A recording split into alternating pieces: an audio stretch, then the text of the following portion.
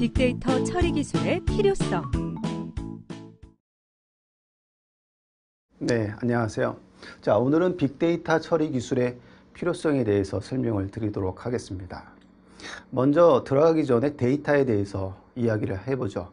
자, 데이터, 생각나는 데이터, 뭐 사진 데이터, 동영상 데이터 등등 우리 주변에 굉장히 많은 데이터들이 많죠. 자, 데이터를 만들어내는 주체가 누구일까요? 여기 인간인 거죠. 인간, 사람. 네. 사람들은 현실 세계에서 현실 세계를 보고 뭔가 표현을 하고자 하는 것이죠. 그 표현의 그 아웃풋이 산출물이 결국은 데이터가 되는 것입니다. 인간 이외에 어떤 누구가 또 이 데이터를 만들어낼까요? 센서죠, 센서. 자, 온도 센서, 지오 센서, 네트워크 센서, 센서들이 또 되게 많은데 이 센서들도 어, 나름대로의 날씨라든지 위치, 네트워크를 sensing을 하면서 데이터를 만들어낸다는 거죠. 예, 날씨 정보는 뭐 몇 도냐, 그 다음에 위치 정보는 어, 위경도, 그죠? 네트워크의 그 sensing은 뭐 이진수의 1과 0의 어떤 stream, 이런, 현, 이런 형태로 어, 데이터를 만들어낸다라는 거죠.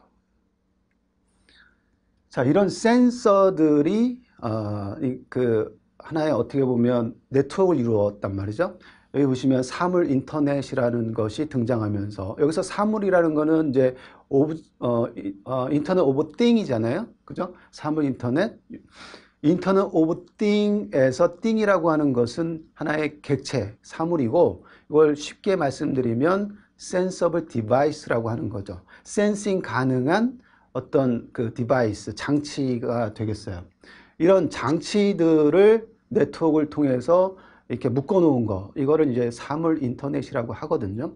그런 센서들이 이제 가정으로 들어가면 스마트 홈, 그 오피스면 스마트 오피스, 공장으로 들어가면 스마트 팩토리, 그 다음에 병원, city, 이런 등등의 이제 스마트한 어, 생활을 우리한테 공급해 주기 위해서 이 다양한 센서들이 들어가게 되고 이 센서의 집합체가 이제 사물 인터넷인데 이 센서가 어마어마하게 그죠?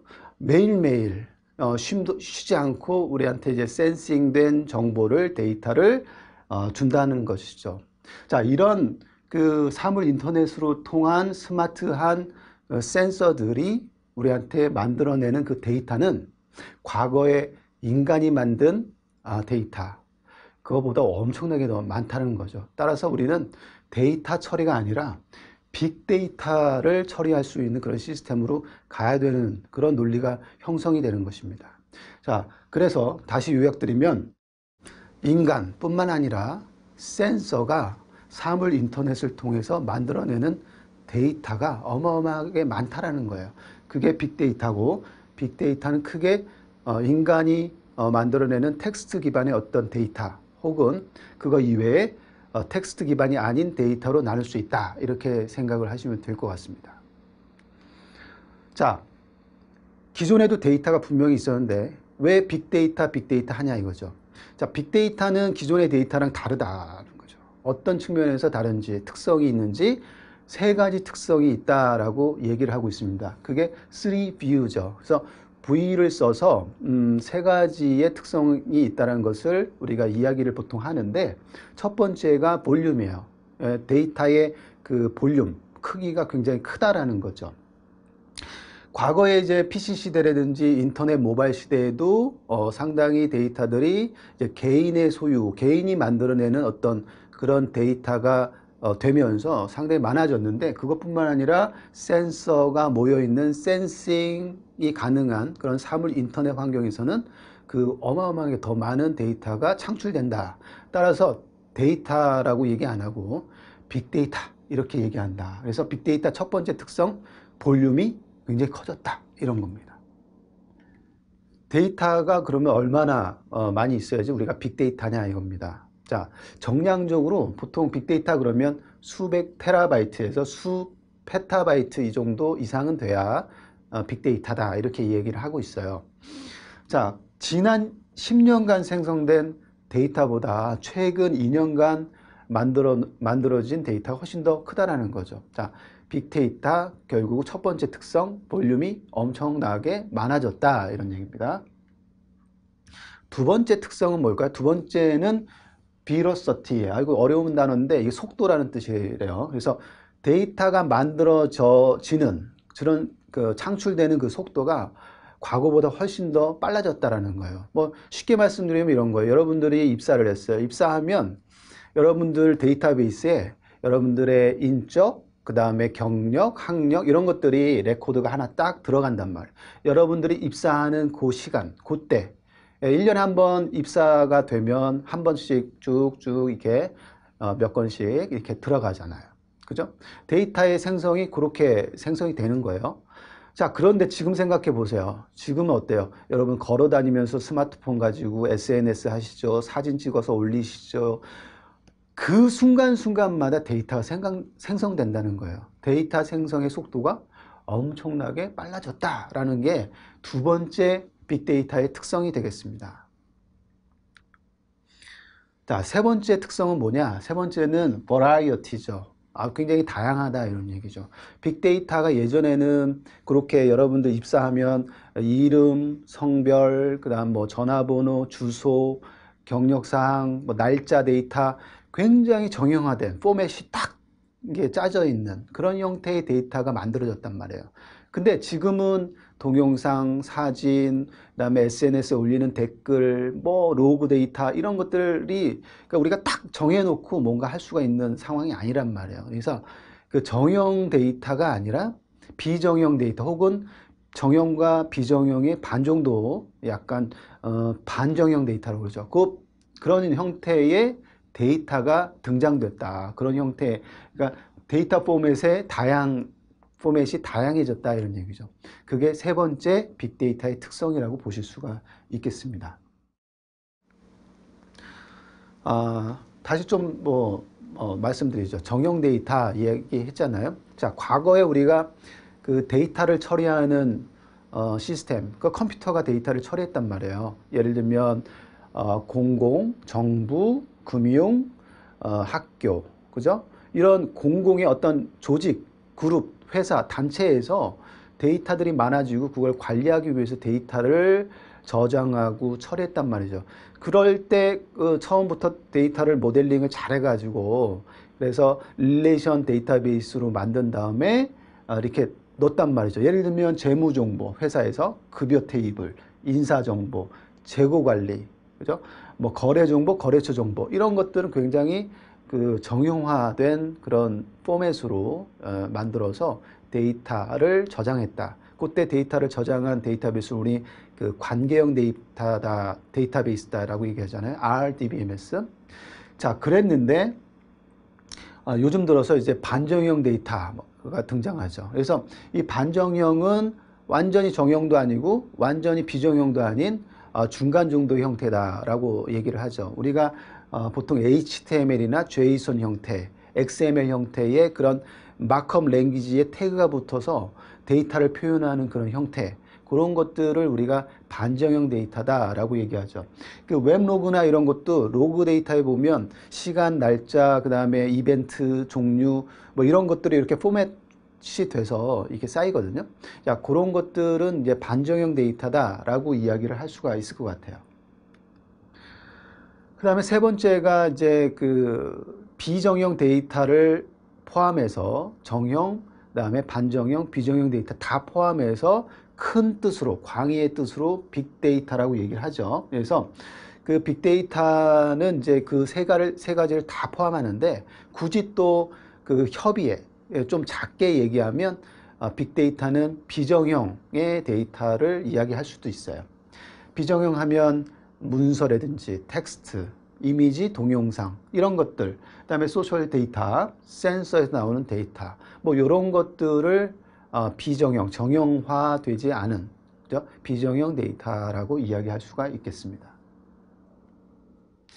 그래서 이렇게 어, X축은 다양성과 발생 속도, Y축은 어, 크기라고 봤을 때 정형 데이터는 과거에 만들어져도 굉장히 정형적이고 발생 속도나 다양성 측면에서 작았고 그 다음에 사이즈도 어, 상대적으로 작았는데 이쪽으로 가면 갈수록 빅데이터는 다양해지고 속도도 빨라지고 발생 속도 그 다음에 크기도 어마어마하게 커졌다라고 살펴볼 수가 있겠네요. 자 그렇다면 우리가 기존의 데이터 처리 시스템이 분명히 있어요. 컴퓨터가 있었어요. 그죠? 근데 이제는 빅데이터가 생겨났단 말이에요. 이 빅데이터는 특성이 있단 말이에요. 기존의 데이터 처리 시스템으로 처리가 가능하냐? 가능 안 하다라는 거죠, 결론은. 자, 가능하지 않다. 그러니까 뭐 가능할 수도 있어요. 그렇지만 효율적인 측면이나 생산적인 측면에서 가능하지 않다라고 하는 거죠. 자, 그렇다면 어떻게 되냐? 빅데이터 처리 시스템이 필요하다라는 거죠. 빅데이터 처리 시스템이 필요하다. 따라서 빅데이터 처리 시스템을 뭐라고 정의하냐? 일단 대용량의 데이터를 데이터의 대용량의 데이터를 어, 잘 처리해서 관리하는 시스템이다 라고 얘기하는 거죠. 근데 여기서 이제 잘 처리하려면 어떻게 할까 고민했는데 역시 한 대로 돌아, 돌아가는 게 아니라 분산해서 같이 병렬적으로 처리해야지만 어, 빅데이터 처리를 할 수 있는 그런 시스템을 만들 수 있겠구나라고 하는 것이죠. 그래서 이게 이제 빅데이터 시스템의 어, 정의라고 볼 수가 있겠습니다.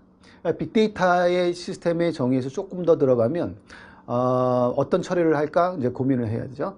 기존의 일괄 처리, 봉급이 한 달에 한 번씩 들어가죠. 그러면 그때 쌓여가지고 몇 시간 일했나 그걸 이제 조사해서 어, 처리를 하잖아요. 그렇게 하는 게 batch 처리, 일괄 처리잖아요. 근데 이제 빅데이터 시대에는 그거 말고도 real-time으로 이게 너무 빨리 데이터가 생성이 되니까 어, 처리 자체도 어, 실시간 처리를 해야 된다라는 거죠. 그래서 이런 것들이 요구사항으로 들어간다라는 거죠.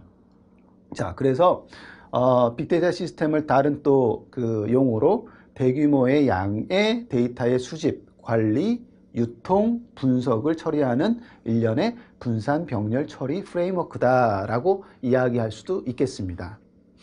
자, 여기서 프레임워크다라는 말 조금 뭐 얘기를 용어를 정리를 하고 넘어가면 아, 프레임워크는 소프트웨어의 구체적인 부분에 해당하는 설계와 구현을 재사용이 가능한 협업 형태로 제공하는 소프트웨어 환경이다.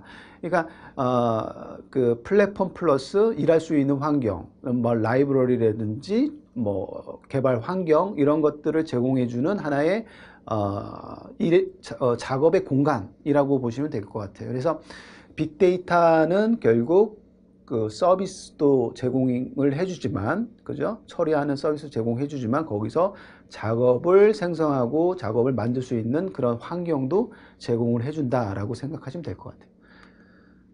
자, 빅데이터 시스템으로 들어가기 전에 이제 소프트웨어 패러다임을 조금 보면 과거에 뭐예요? 하드웨어 중심, 그다음 90년대에 프로그램 언어 중심, 2000년대 가면서 객체 지향의 그 웹 중심.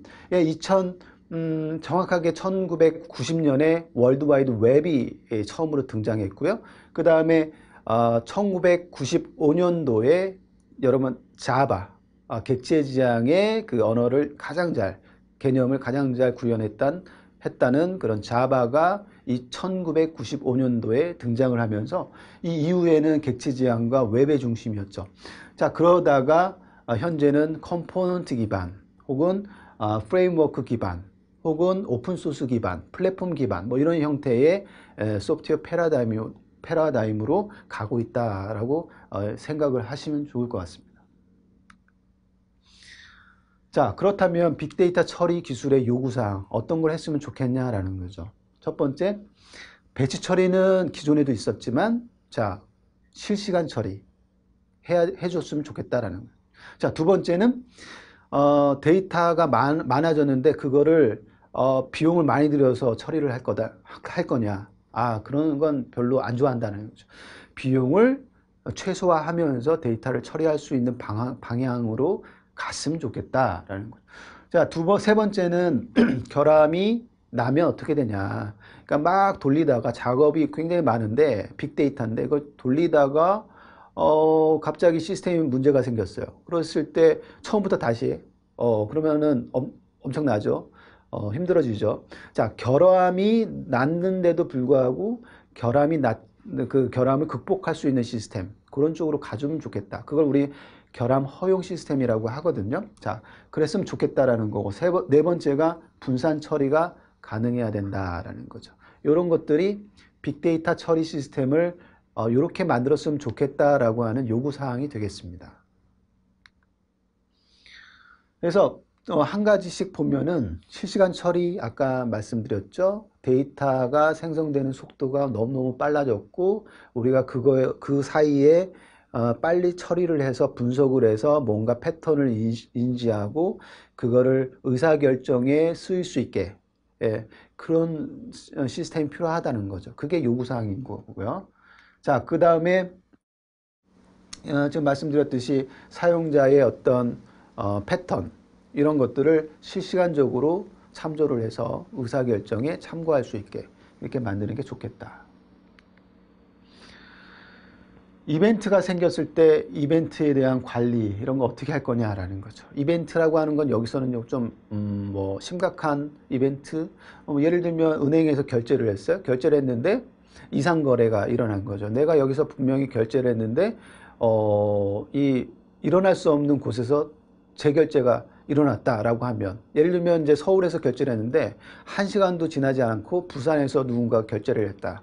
이건 이상 거래 거래잖아요. 자, 그런 것들을 실시간적으로 찾아서 그런 이벤트를 찾아서 탐지를 할 수 있어야 되겠다라는 거죠.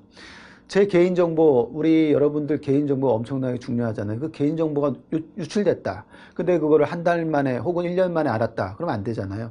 유출되면 유출됨과 동시에, 그죠? 내가 어, 어떻게 됐다라는 것을 빨리 파악할 수 있어야 되겠죠. 그런 경우에는 이런 이벤트가 일어날 때 빨리 신속하게 해독하고 처리할 수 있는 그런 시스템이 필요하죠.